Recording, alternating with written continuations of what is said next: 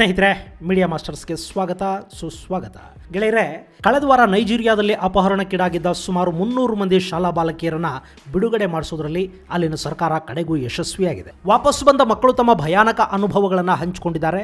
ಇಲ್ಲಿ ಮಕ್ಕಳನ್ನು ಬಿಡುಗಡೆಗೊಳಿಸೋದ್ರಲ್ಲಿ ಅಲ್ಲಿನ ಸರ್ಕಾರ ಯಶಸ್ವಿಯಾಗಿದೆಯೇ ಹೊರತು ನೈಜೀರಿಯಾದ ಭಯೋತ್ಪಾದಕ ಚಟುವಟಿಕೆಗಳನ್ನು ಸಂಪೂರ್ಣವಾಗಿ ಮಟ್ಟ ಹಾಕೋದ್ರಲ್ಲಿ ವಿಫಲವಾಗಿದೆ. ಅಲ್ಲಿ ಮಕ್ಕಳ ಸಾಮೂಹಿಕ ಅಪಹರಣ, ಶಾಲೆಗಳ ಮೇಲೆ ದಾಳಿ, ನಾಗರಿಕರ ಮೇಲೆ ದಾಳಿ, ರೈತರ ಹತ್ಯೆ ಇವೆಲ್ಲ ಇತ್ತೀಚೆಗೆ ತುಂಬಾನೇ ಹೆಚ್ಚಾಗ್ತಾ ಇದ್ದು, ಇದೆಲ್ಲದರ ಹಿಂದೆ ಬೋಕೋ ಹರಾಮ್ ಸಂಘಟನೆಯ ನೆರಳಿದೆ ಅನ್ನೋದು ಅಲ್ಲಿನ ಜನ ಹಾಗೂ ಸರ್ಕಾರ ಹೇಳ್ತಿರೋ ಮಾತು. ಹಾಗಾದ್ರೆ ಏನಿದು ನೈಜೀರಿಯಾದ ನಿಜ ಸ್ಥಿತಿ ಯಾವುದು ಈ ಬೋಕೋ ಹರಾಮ್ ಅಲ್ಲಿ ನಿಜಕ್ಕೂ ಏನಾಗ್ತಿದೆ ಅನ್ನೋ ಬಗ್ಗೆ ಒಂದಷ್ಟು ಮಾಹಿತಿಯನ್ನ ನೋಡೋಣ ಬನ್ನಿ.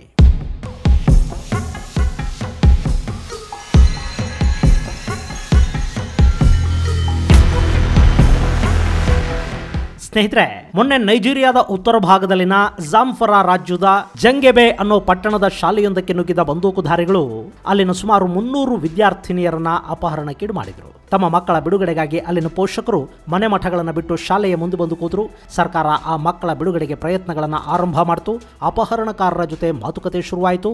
ಮತ್ತೊಂದು ಕಡೆ ಅಂತಾರಾಷ್ಟ್ರೀಯ ಮಟ್ಟದಲ್ಲಿ ವಿದೇಶಗಳಲ್ಲಿನ ನೈಜೀರಿಯಾದ ಪ್ರಜೆಗಳು ಸಾಮಾಜಿಕ ಹೋರಾಟಗಾರರು ನಮ್ಮ ಮಕ್ಕಳನ್ನ ಕಾಪಾಡಿ ಅನ್ನೋ ಹ್ಯಾಶ್ಟ್ಯಾಗ್ ಜೊತೆಗೆ ಡಿಜಿಟಲ್ ಸ್ಟ್ರೈಕ್ ಅನ್ನು ಆರಂಭ ಮಾಡಿದರು. ಆದರೆ ಇಷ್ಟೆಲ್ಲ ಕೂಡ ಕೇವಲ ನೈಜೀರಿಯಾದ ಮಟ್ಟಿಗೆ ನಡೀತೆ ಹೊರತು ವಿಶ್ವದ ಬೇರೆ ಯಾವ ಮಾನವ ಹಕ್ಕುಗಳ ಹೋರಾಟಗಾರರು, ಸಂಘಟನೆಗಳು, ಸೆಲೆಬ್ರಿಟಿಗಳು, ಮಿಯಾ ಖಲೀಫಾಗಳು ಈ ಬಗ್ಗೆ ಯಾರು ಚಕಾರ ಎತ್ತಲಿಲ್ಲ.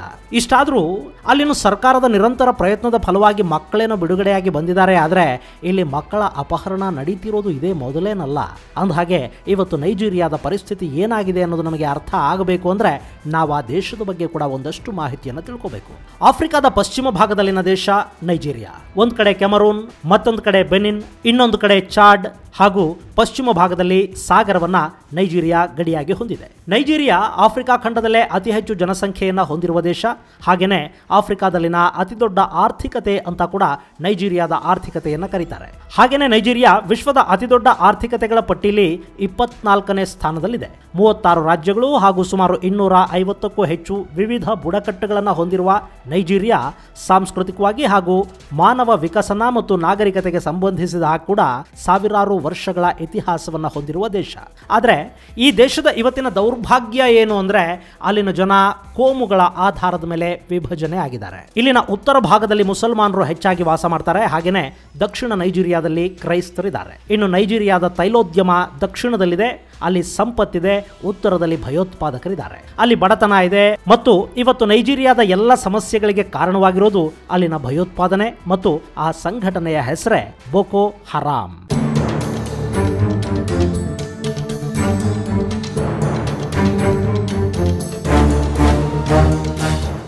ಬೋಕೋ ಹರಾಮ್ ಅನ್ನೋ ಸಂಘಟನೆ ಹುಟ್ಕೊಂಡಿದ್ದು ಎರಡು ಸಾವಿರದ ಎರಡರಲ್ಲಿ. ಮೊಹಮ್ಮದ್ ಯೂಸುಫ್ ಅನ್ನೋ ಮೌಲ್ವಿ ಹುಟ್ಟಾಕಿದ್ದ ಈ ಸಂಘಟನೆ ಆರಂಭದಲ್ಲಿ ಭಯೋತ್ಪಾದಕ ಚಟುವಟಿಕೆಗಳನ್ನೇನು ಮಾಡ್ತಾ ಇರಲಿಲ್ಲ. ಬದಲಿಗೆ ಪಾಶ್ಚಿಮಾತ್ಯ ಶಿಕ್ಷಣವನ್ನು ವಿರೋಧಿಸಿ, ಮದರಸಾ ಹಾಗೂ ಧಾರ್ಮಿಕ ಶಿಕ್ಷಣವನ್ನು ಆಗ್ರಹಿಸಿ ಹುಟ್ಕೊಂಡ ಸಂಸ್ಥೆ ಇದಾಗಿತ್ತು. ಬೋಕೋ ಹರಾಮ್ ಅನ್ನೋ ಪದದ ಅರ್ಥ ಕೂಡ ಅದೇ ಆಗಿತ್ತು.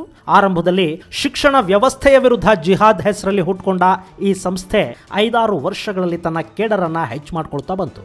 ಉತ್ತರ ನೈಜೀರಿಯಾದಲ್ಲಿನ ಬಡ ಅವಿದ್ಯಾವಂತ ಯುವಕರನ್ನ ತನ್ನ ಸಂಘಟನೆಗೆ ಸೇರಿಸಿಕೊಳ್ತು. ಸೈಲೆಂಟ್ ಆಗಿ ಅವರ ಕೈಗಳಿಗೆ ಬಂದೂಕಗಳನ್ನು ಇಡಲಾಯಿತು. ಎರಡು ಸಾವಿರದ ಒಂಬತ್ತರ ಹೊತ್ತಿಗೆ ನೈಜೀರಿಯಾದಲ್ಲಿ ಇಸ್ಲಾಮಿಕ್ ಆಡಳಿತ ಜಾರಿಯಾಗಬೇಕು. ಖಲೀಫತ್ ಆಡಳಿತದ ಅಡಿಗೆ ನೈಜೀರಿಯಾ ಬರಬೇಕು. ಶರಿಯತ್ ಕಾನೂನು ಜಾರಿಯಾಗಬೇಕು ಮತ್ತು ಪಾಶ್ಚಿಮಾತ್ಯ ಶಿಕ್ಷಣ ಹಾಗೂ ಸಂಸ್ಕೃತಿಯನ್ನ ಇಲ್ಲಿಂದ ಆಚೆಗೆ ಹಾಕಬೇಕು ಅನ್ನೋ ಒತ್ತಾಯ ಈ ಬೋಕೋ ಹರಾಮ್ ಸಂಘಟನೆಯಿಂದ ಕೇಳಿಬಂತು. ಮತ್ತು ನೈಜೀರಿಯಾದ ಈಶಾನ್ಯ ಭಾಗವನ್ನ ಆಕ್ರಮಿಸಿಕೊಂಡ ಅವರು ಅಲ್ಲಿನ ಮೈದುಗುರಿಯನ್ನ ಕೇಂದ್ರವನ್ನಾಗಿ ಮಾಡಿಕೊಂಡು ಭಯೋತ್ಪಾದಕ ಚಟುವಟಿಕೆಗಳನ್ನು ಶುರು ಮಾಡಿದರು. ಯಾವಾಗ ಅವರ ಅಪಹರಣ, ಹತ್ಯೆ, ಬಾಂಬ್ ದಾಳಿ, ಗುಂಡಿನ ದಾಳಿಗಳು ಶುರುವಾದವೋ, ನೈಜೀರಿಯಾದ ಸರ್ಕಾರ ಆಕ್ಟಿವ್ ಆಯಿತು. ನಿರಂತರ ಸೇನಾ ಕಾರ್ಯಾಚರಣೆಯ ಮೂಲಕ ಮೈದುಗುರಿಯನ್ನ ಸೇನೆ ತನ್ನ ವಶಕ್ಕೆ ಪಡ್ಕೊಳ್ತು. ಮತ್ತು ಆ ಕಾರ್ಯಾಚರಣೆಯಲ್ಲಿ ನೂರಾರು ಮಂದಿ ಬೋಕೋ ಹರಾಮ್ ಉಗ್ರರು ಹತ್ಯೆಗೀಡಾದರು. ಅದರ ಸಂಸ್ಥಾಪಕ ಮೊಹಮ್ಮದ್ ಯೂಸುಫ್ ಕೂಡ ಭದ್ರತಾ ಪಡೆಗಳ ಗುಂಡಿಗೆ ಬಲಿಯಾದ. ಅಲ್ಲಿಗೆ ನಾವು ಬೋಕೋಹರಾಮ್ ಸಂಘಟನೆಯನ್ನು ಸಂಪೂರ್ಣವಾಗಿ ಮಟ್ಟ ಹಾಕಿದ್ವಿ ಅಂತ ಅಲ್ಲಿನ ಸೇನೆ ಹೇಳ್ಕೊಳ್ತು. ಆದರೆ ಅದು ಹಾಗಾಗಿರಲಿಲ್ಲ. ಈ ಉಗ್ರಗಾಮಿ ಸಂಘಟನೆಗಳು ಅಂದರೆ ಒಂಥರ ಕ್ಯಾನ್ಸರ್ ಇದ್ದಂಗೆ ಅವುಗಳನ್ನು ಸಂಪೂರ್ಣವಾಗಿ ನಾಶ ಮಾಡಿಬಿಡ್ತೀವಿ ಅಂತ ಅಂದ್ಕೊಳ್ಳೋದಕ್ಕೆ ಸಾಧ್ಯ ಆಗೋದಿಲ್ಲ. ಇಲ್ಲಿ ಕೂಡ ಅದೇ ಆಯಿತು. ಮೊಹಮ್ಮದ್ ಯೂಸುಫ್ ಸತ್ತಿದ್ದ ನಿಜ ಆದರೆ ಅವನ ನಂತರ ಸಂಘಟನೆಯ ನೇತೃತ್ವವನ್ನು ಅಬೂಬಕರ್ ಶೇಖಾವು ಅನ್ನೋನು ವಹಿಸಿಕೊಂಡ. ಇವನು ಯೂಸುಫ್ಗಿಂತ ಕ್ರೂರಿ ಹಾಗೂ ಕಟ್ಟರ್ ಭಯೋತ್ಪಾದಕನಾಗಿದ್ದ. ಈ ಅಬೂಬಕರ್ ಎರಡು ಸಾವಿರದ ಹತ್ತರಲ್ಲಿ ನೈಜೀರಿಯಾದ ಬಾಚಿ ಜೈಲಿನ ಮೇಲೆ ದಾಳಿ ಮಾಡ್ತಾನೆ. ಅಲ್ಲಿ ಬಂಧನದಲ್ಲಿದ್ದ ನೂರ ಐದು ಮಂದಿ ಉಗ್ರರನ್ನು ಬಿಡುಗಡೆ ಕೂಡ ಮಾಡಿಸ್ಕೊಳ್ತಾನೆ. ಅವರ ಜೊತೆಗೆ ಆ ಜೈಲ್ ಬ್ರೇಕ್ನಲ್ಲಿ ಇನ್ನೂ ಆರುನೂರು ಮಂದಿ ತಪ್ಪಿಸ್ಕೊಳ್ತಾರೆ. ಅವರೆಲ್ಲರನ್ನ ಕರ್ಕೊಂಡು ಬಂದು ಅವ್ರ ಕೈಗಳಿಗೆ ಬಂದೂಕು ಕೊಟ್ಟ ಅಬೂಬಕರ್ ಮತ್ತೆ ಬೋಕೋ ಹರಾಮ್ ಸಂಘಟನೆಯನ್ನು ಗಟ್ಟಿ ಮಾಡಿಕೊಂಡ. ಅಲ್ಲಿಂದ ನೈಜೀರಿಯಾದಲ್ಲಿ ಮತ್ತೆ ಕಿಡ್ನ್ಯಾಪ್ಗಳು ಶುರುವಾದವು. ಎರಡು ಸಾವಿರದ ಹದಿನಾಲ್ಕರಲ್ಲಿ ವಿಪರೀತ ಪ್ರಮಾಣದ ದಾಳಿಗಳಾದವು. ಸಾರ್ವಜನಿಕರು ಬಾಂಬ್ ದಾಳಿಗಳಲ್ಲಿ ಸಾವಿಗೀಡಾದರೂ. ಬೋಕೋ ಹರಾಮ್ ಸಂಘಟನೆಯನ್ನು ಈ ಅಬೂಬಕರ್ ಐಸಿಸ್ ಸಂಘಟನೆಯ ಜೊತೆ ವಿಲೀನ ಮಾಡೋದಾಗಿ ಹೇಳಿಕೊಂಡ. ನಾವು ಇನ್ನು ಮುಂದೆ ಇಸ್ಲಾಮಿಕ್ ಸ್ಟೇಟ್ ಆಫ್ ಆಫ್ರಿಕಾ ಅಂತ ಘೋಷಣೆ ಮಾಡಿಕೊಂಡ, ಅಲ್ಲಿಗೆ ಬೋಕೋ ಹರಾಮ್ಗೆ ಅಂತಾರಾಷ್ಟ್ರೀಯ ಮಟ್ಟದ ಭಯೋತ್ಪಾದಕರ ಸ್ಟೇಟಸ್ ಕೂಡ ಸಿಕ್ಕಿಬಿಡ್ತು. ಎರಡು ಸಾವಿರದ ಹದಿನಾಲ್ಕರಲ್ಲಿ ನಿರಂತರವಾಗಿ ಶಾಲಾ ಮಕ್ಕಳ ಅಪಹರಣಗಳಾದವು, ಅಪಾರ ಪ್ರಮಾಣದ ಹಣಕ್ಕೆ ಬೇಡಿಕೆ ಇಡಲಾಯಿತು, ಪ್ರವಾಸಿಗರನ್ನ ಅಲ್ಲಿನ ಸಾರ್ವಜನಿಕರನ್ನು ಕೂಡ ಅಪಹರಿಸಿ ಹಣ ಪೀಕಲಾಯಿತು. ಅದೇ ವರ್ಷ ಇನ್ನೂರ ಎಪ್ಪತ್ತಾರು ಮಂದಿ ಶಾಲಾ ಬಾಲಕಿಯರು ಅಪಹರಣಗೊಂಡರು. ಅವರನ್ನು ಸರ್ಕಾರ ಬಿಡುಗಡೆ ಮಾಡಿಸ್ತಾದ್ರೂ ಇವತ್ತಿಗೂ ಕೂಡ ಸುಮಾರು ನೂರ ಹದಿನೈದು ಮಂದಿ ಬಾಲಕಿಯರು ಅವರವರ ಮನೆಗಳಿಗೆ ಹಿಂತಿರುಗಿ ಬಂದಿಲ್ಲ. ಅವ್ರು ಏನಾದರೂ ಬದುಕಿದಾರಾ ಇಲ್ವಾ ಅನ್ನೋ ಬಗ್ಗೆ ಕೂಡ ಯಾವ ಮಾಹಿತಿಯೂ ಯಾರ ಬಳಿಯೂ ಇಲ್ಲ.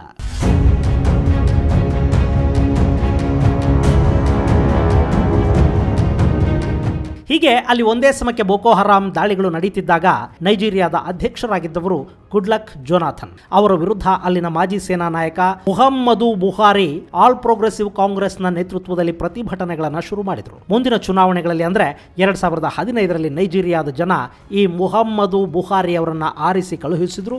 ಹೀಗೆ ನೈಜೀರಿಯಾದ ಅಧ್ಯಕ್ಷರಾದ ಮೇಲೆ ಬುಹಾರಿ ನೈಜೀರಿಯಾದ ಅಕ್ಕಪಕ್ಕದ ದೇಶಗಳ ಒಕ್ಕೂಟವನ್ನು ರಚಿಸಿಕೊಂಡು ಬೋಕೋ ಹರಾಮ್ ವಿರುದ್ಧ ಮತ್ತೊಂದು ಸುತ್ತಿನ ಸೇನಾ ಕಾರ್ಯಾಚರಣೆಯನ್ನು ನಡೆಸ್ತಾರೆ. ಅದು ಕೂಡ ಯಶಸ್ವಿ ಕಾರ್ಯಾಚರಣೆನೇ. ಎರಡು ಸಾವಿರದ ಹದಿನಾರರಿಂದ ಹದಿನೆಂಟರ ನಡುವೆ ನಡೆದ ಈ ಕಾರ್ಯಾಚರಣೆಯಲ್ಲಿ ಬೋಕೋ ಹರಾಮ್ಗಳ ಬಲ ಕಡಿಮೆ ಆಯಿತು ಅವರು ನೈಜೀರಿಯಾದ ಬೇರೆ ಬೇರೆ ಭಾಗಗಳಿಗೆ ಚದುರಿ ಹೋದರು. ಅದರಲ್ಲೂ ಸಾಂಬೇಸಾ ಕಾಡುಗಳು, ಮಾಂದಾರ ಪರ್ವತಗಳಲ್ಲಿ ಆಶ್ರಯ ಪಡ್ಕೊಂಡ್ರು. ಆದರೆ ಅಲ್ಲಿಗೆ ಎಲ್ಲ ಮುಗಿದು ಹೋಗಲಿಲ್ಲ. ಉತ್ತರ ನೈಜೀರಿಯಾದ ಸಮಸ್ಯೆ ಬಗೆಹರಿಯಲೂ ಇಲ್ಲ. ಅಲ್ಲಿ ಮೊನ್ನೆ, ಅಂದ್ರೆ ಕಳೆದ ತಿಂಗಳು ನಾರ್ತ್ ವೆಸ್ಟ್ ಭಾಗದ ಕತ್ಸಿನಾ ಪ್ರಾಂತ್ಯದ ಶಾಲೆಯೊಂದರಿಂದ ಸುಮಾರು ಇನ್ನೂರ ಎಪ್ಪತ್ತಾರು ಮಂದಿ ಮಕ್ಕಳನ್ನ ಅಪಹರಿಸಲಾಯಿತು. ಅವರ ಬಿಡುಗಡೆಗೆ ಭಯೋತ್ಪಾದಕರು ಭಾರಿ ಪ್ರಮಾಣದ ಹಣಕ್ಕೆ ಬೇಡಿಕೆ ಇಟ್ಟಿದ್ರು. ಸರ್ಕಾರ ಕಾರ್ಯಾಚರಣೆ ನಡೆಸಿ ಬಾಲಕರನ್ನ ಬಿಡುಗಡೆ ಮಾಡಿಸಿತು. ಅದಾದ ಒಂದೆರಡು ವಾರ ಕಳೆಯುವ ಮೊದಲೇ ಉಗ್ರನೊಬ್ಬ ಬಂದೂಕು ಹಿಡ್ಕೊಂಡು ಶಾಲೆಯೊಂದರ ಮೇಲೆ ಬಿದ್ದ. ಅಲ್ಲಿ ನಲವತ್ತೇಳು ಮಂದಿಯನ್ನ ಅಪಹರಿಸಲಾಯಿತು. ಅದರ ಬೆನ್ನಲ್ಲೇ ಮೊನ್ನೆ ಜಂಫರಾದಲ್ಲಿ ವಿದ್ಯಾರ್ಥಿನಿಯರನ್ನ ಅಪಹರಣ ಮಾಡಲಾಯಿತು. ಇದೆಲ್ಲ ಆಗಿದ್ದು ಹಣಕ್ಕಾಗಿ. ಇಲ್ಲಿ ಗಮನಿಸಬೇಕಾದ ಇನ್ನೊಂದು ಅಂಶ ಅಂದ್ರೆ, ಇಷ್ಟು ದಿನ ಬೋಕೋ ಹರಾಮ್ ಪ್ರಾಬಲ್ಯ ಇದ್ದದ್ದು ಈಶಾನ್ಯ ಭಾಗದ ನೈಜೀರಿಯಾದಲ್ಲಿ ಮಾತ್ರ. ಅಲ್ಲಿನ ಪ್ರದೇಶ ಮಾತ್ರ ಸಂತ್ರಸ್ತ ಪ್ರದೇಶವಾಗಿ ಗುರುತಿಸಿಕೊಂಡಿತ್ತು. ಆದ್ರೆ, ಈಗ ಇಡೀ ಉತ್ತರ ನೈಜೀರಿಯಾ ಸಮಸ್ಯೆಯನ್ನ ಎದುರಿಸ್ತಾ ಇದೆ. ಇತ್ತೀಚೆಗೆ ನಡೆದ ಎರಡೂ ಅಪಹರಣ ಕೃತ್ಯಗಳು ಆಗಿರೋದು ಆಗ್ನೇಯ ಭಾಗದಲ್ಲಿ. ಹಾಗೆ, ಇಲ್ಲಿಗ ಬರೀ ಬೋಕೋ ಹರಾಮ್ ಮಾತ್ರ ಇಲ್ಲ, ಚಿಕ್ಕ ಚಿಕ್ಕ ಸಂಘಟನೆಗಳು ಕೂಡ ಇಲ್ಲಿ ತಲೆ ಎತ್ತಿವೆ. ಅವುಗಳಿಗೆ ಯಾವುದೇ ಒಂದು ನಾಯಕತ್ವ ಇದ್ದ ಹಾಗಿಲ್ಲ. ಇನ್ನು ಅಲ್ಲಿನ ಸರ್ಕಾರ ಈ ಸಮಸ್ಯೆಯನ್ನು ನಿಭಾಯಿಸುವುದಕ್ಕೆ ಮಾತುಕತೆಗಳು ಹಾಗೂ ಶರಣಾಗತಿಯ ಪ್ಯಾಕೇಜ್ ಅನ್ನ ಘೋಷಣೆ ಮಾಡಿದೆ. ಅಲ್ಲಿ ಆಯುಧಗಳ ಜೊತೆಗೆ ಬಂದು ಶರಣಾಗುವ ಭಯೋತ್ಪಾದಕರಿಗೆ ಮುಂದಿನ ಜೀವನ ನಿರ್ವಹಣೆಗಾಗಿ ಸರ್ಕಾರ ಅನುಕೂಲ ಮಾಡಿಕೊಡುತ್ತೆ. ಒಂದು ಎ ಕೆ ಫಾರ್ಟಿ ಸೆವೆನ್ ಬಂದೂಕನ್ನ ತಂದು ಶರಣಾದ್ರೆ ಅಂಥವರಿಗೆ ಎ ಕೆ ಫಾರ್ಟಿ ಸೆವೆನ್ ಬದಲು ಎರಡು ಹಸುಗಳನ್ನ ಸರ್ಕಾರ ಕೊಡ್ತಾ ಇದೆ. ಸಾಕಷ್ಟು ಜನ ಶರಣಾಗ್ತಾ ಇದ್ದಾರೆ ಕೂಡ. ಮತ್ತು ಹಾಗೆ ಶರಣಾದ ಭಯೋತ್ಪಾದಕ ಸಂಘಟನೆಗಳ ನಾಯಕರು ಸರ್ಕಾರದ ಸೌಲಭ್ಯಗಳನ್ನು ಕೂಡ ಪಡ್ಕೊಳ್ತಾ ಹಿಂದೆ ನಿಂತು ಸಂಘಟನೆಗಳನ್ನು ನಡೆಸ್ತಾ ಇದ್ದಾರೆ. ಹಾಗೆಯೇ ಕಿಡ್ನ್ಯಾಪ್ ವಸೂಲಿ, ಸುಲಿಗೆಗಳಲ್ಲಿ ಭಾಗಿಯಾಗ್ತಿದ್ದಾರೆ ಅನ್ನೋ ಆರೋಪ ಕೂಡ ಅಲ್ಲಿದೆ. ಹಾಗಂತ ಅವರು ಶರಣಾಗ್ತಿದ್ದಾರೆ ಅನ್ನೋ ಕಾರಣಕ್ಕೆ ಬೋಕೋ ಹರಾಮ್ನ ಶಕ್ತಿ ಕಡಿಮೆ ಆಗಿದೆಯಾ? ಖಂಡಿತ ಇಲ್ಲ. ಅದು ಇವತ್ತಿಗೂ ಆಕ್ಟಿವ್ ಆಗೇ ಇದೆ ಮತ್ತು ಅದನ್ನು ಸಂಪೂರ್ಣವಾಗಿ ಮಟ್ಟ ಹಾಕೋದಕ್ಕೆ ಅಲ್ಲಿನ ಸರ್ಕಾರಕ್ಕೆ ಸಾಧ್ಯವಾಗಿಲ್ಲ. ಅವರು ಅಕ್ಕಪಕ್ಕದ ದೇಶಗಳಲ್ಲಿ ತಲೆಮರೆಸ್ಕೊಳ್ತಾರೆ ಮತ್ತು ನೈಜೀರಿಯಾಕ್ಕೆ ಬಂದು ಅಪರಾಧ ಕೃತ್ಯಗಳಿಗೆ ಕೈ ಹಾಕ್ತಾರೆ. ಗೆಳೆಯರೆ ಭಯೋತ್ಪಾದನೆ ಅನ್ನೋದು ಭಾರತಕ್ಕೆ ಮಾತ್ರ ಅಲ್ಲ, ಇಡೀ ವಿಶ್ವದ ಪಾಲಿಗೆ ಇವತ್ತು ಶಾಪವಾಗಿ ಪರಿಣಮಿಸಿದೆ. ಇಡೀ ವಿಶ್ವ ಸಮುದಾಯ ತಮ್ಮ ರಾಜಕೀಯ ಹಿತಾಸಕ್ತಿಗಳನ್ನು ಪಕ್ಕಕ್ಕಿಟ್ಟು ಭಯೋತ್ಪಾದನೆಯ ವಿರುದ್ಧ ಒಂದಾಗಿ ಸಮರವನ್ನ ಸಾರದೇ ಇದ್ರೆ ಈ ರಕ್ತ ಬೀಜಾಸುರ ಸಂತತಿಯನ್ನ ನಾಶ ಮಾಡೋದಕ್ಕೆ ಖಂಡಿತ ಸಾಧ್ಯ ಆಗೋದಿಲ್ಲ. ಇವತ್ತೇನು ನೈಜೀರಿಯಾದ ಮಕ್ಕಳು ಬಿಡುಗಡೆಯಾಗಿ ಬಂದಿದ್ದಾರೆ, ಆದರೆ ಮುಂದೆ ಮತ್ತೆ ಇನ್ನೊಂದು ಅಪಹರಣ ಕೃತ್ಯ ಅಲ್ಲಿ ನಡೆಯೋದಿಲ್ಲ ಅನ್ನೋ ಯಾವ ಗ್ಯಾರಂಟಿನೂ ಇಲ್ಲ. ಯಾಕೆಂದ್ರೆ ಕಳೆದ ಆರು ವರ್ಷಗಳಲ್ಲಿ ಅಲ್ಲಿ ಇಂಥ ಐವತ್ತಕ್ಕೂ ಹೆಚ್ಚು ಘಟನೆಗಳು ನಡೆದಿವೆ ಇದು ಗೆಳೆಯರೆ ನೈಜೀರಿಯಾ ಮಕ್ಕಳ ಅಪಹರಣ ಹಾಗೂ ಬಿಡುಗಡೆಯ ಕಥೆ. ಮುಂದಿನ ಸಂಚಿಕೆಯಲ್ಲಿ ಮತ್ತೊಂದು ವಿಶೇಷ ಜೊತೆಗೆ ಭೇಟಿಯಾಗೋಣ ಅಲ್ಲಿವರೆಗೆ. ಜೈ ಹಿಂದ್, ಜೈ ಕರ್ನಾಟಕ.